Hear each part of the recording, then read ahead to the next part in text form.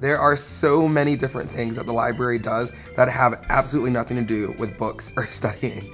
Obviously, as students, we're all going through a lot of work. Take in as much as you can during the four years that you are here. Don't just look at it as a quiet library environment where you just go to check out books. Having a nice environment that you can come to and be able to sit down, spread out your stuff, take a deep breath, and be able to get work done is extremely useful. Experience every second that you can because as soon as you know, it'll be gone and you'll be graduated.